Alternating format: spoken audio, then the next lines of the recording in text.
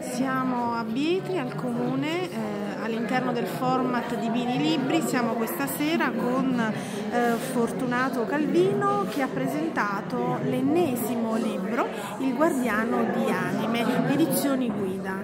Chi è il Guardiano di Anime? volendo sintetizzare anche perché fino ad ora l'abbiamo ascoltata e su questo libro potremmo raccontare tante cose, quindi certo. siamo più incisivi. Il guardiano di anime chi è? Di anime è questo proprietario di questo appartamento nel centro storico di Napoli che accoglie questi studenti, studenti che in effetti ha un doppio scopo che non possiamo dire perché bisogna leggere il racconto.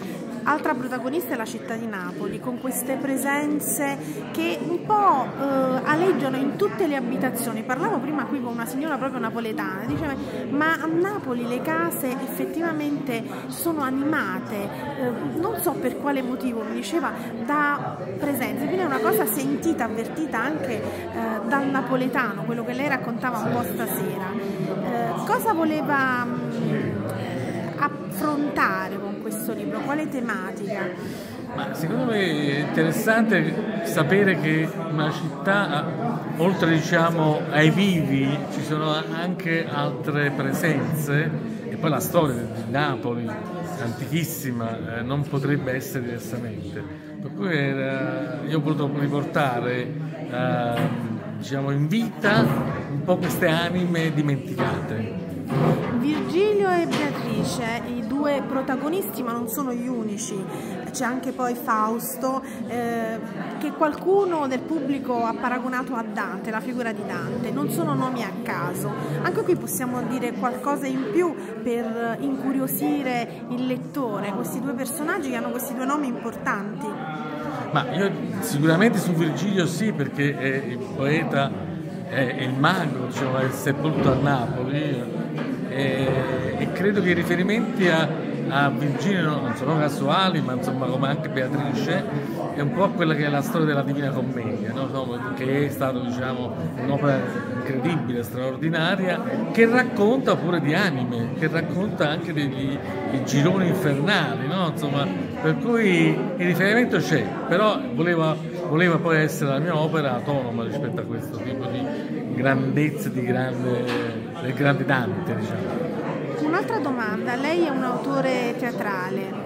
Um, qual è la differenza tra scrivere un'opera che verrà poi rappresentata a teatro e scrivere invece un romanzo che eh, viene letto in una condizione completamente diversa, cioè fruita dal pubblico in modo completamente differente. Qual è secondo lei la differenza e quale forma preferisce?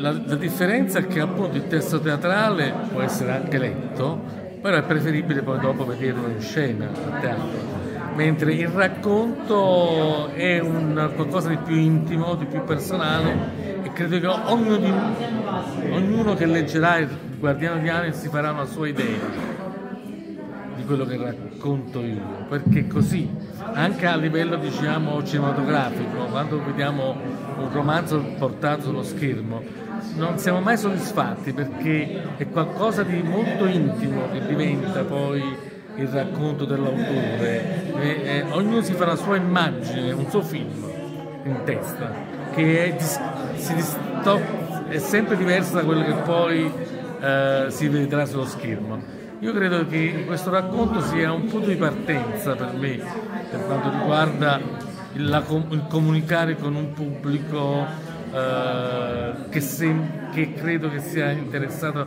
a queste tematiche. Un'altra cosa molto interessante, che mi ha molto colpito, è il tema della morte, che lei affronta in questo libro, ma lo affronta con leggerezza, almeno dalle sue parole è, è, è, è passato questo. Perché il tema della morte?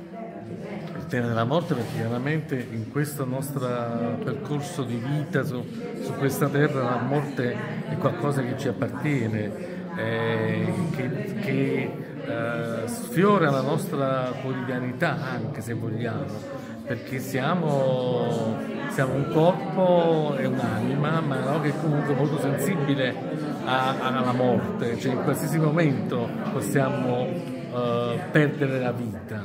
Però ecco, il, il rapporto della morte è anche il rapporto con, che il napoletano ha con il culto dei morti, per cui questo antichissimo culto che non poteva non essere da me affrontato e approfondito.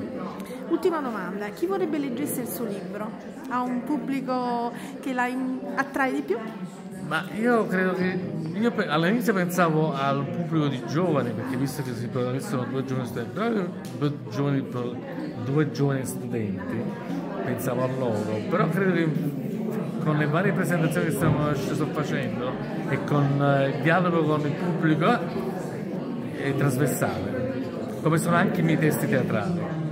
Un pubblico trasversale, possono vedere tutti. Allora le auguriamo fortuna, tanta, e facciamo vedere nuovamente il suo libro. E buon 2024 a tutti. Grazie. Grazie, grazie, grazie a lei.